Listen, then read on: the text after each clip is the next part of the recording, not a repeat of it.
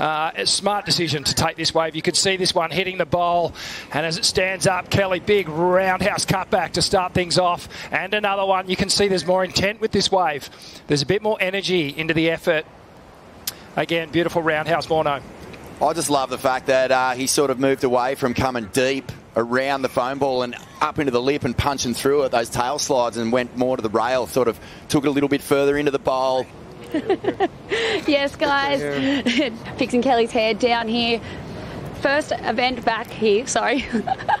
Not first event back here, but first heat of the morning, heat of the event. Yep. Wow, getting your first heat win of the year. Yeah. Coming back, we missed you. We missed you at uh, uh, Portugal, but wow, you're really turning it on here this morning. Talk us through that magic board.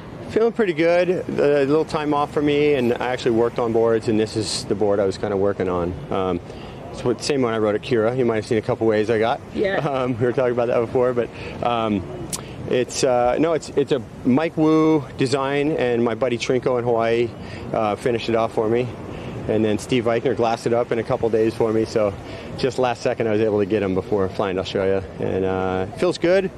Um, pretty good start. You know, I started deeper than the other than, than John and Seth, and kind of played that game. And I was hoping maybe a deep one off Rincon would would line up because there's some west in the swell. And um, I did get the first wave. It didn't really weigh into the scores, but it put me in the right sort of uh, flow, right sink to get the good waves. And yeah.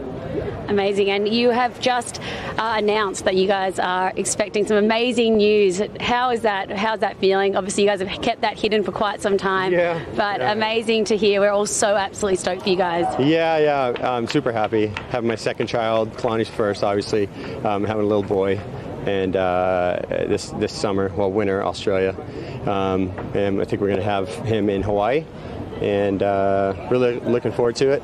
And uh, we've been super excited. It's been been really fun. It was fun to keep it a secret from everybody for a long time. Even we kept it a secret from family for months, and. Um, and then one by one, we're telling friends and kind of filming their reactions and stuff, and it, it's just been been a fun time. Wow. And you know, back here in Bells Beach, you absolutely love this place. 27th event, you got four bells. How good would it be to just that- bring in another bell? Yeah, 30 years since I, uh, 30 years since my first win here. Wow. 32 years since my first event here. Um, my first heat I ever had here was with Tom Curren and Todd Holland, and we were surfing high tide Rincon like one foot, wow. and uh, uh, it's it's good to be back. Yeah, you know, it would be.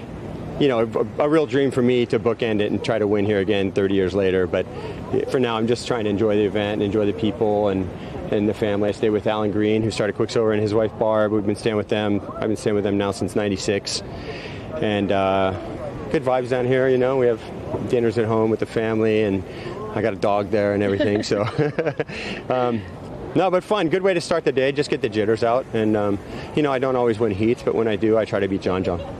Absolutely. Seth. Yeah, absolutely. That was a stacked first heat. Go enjoy the rest of the day and enjoy this amazing time in your life. All right. Thanks, guys.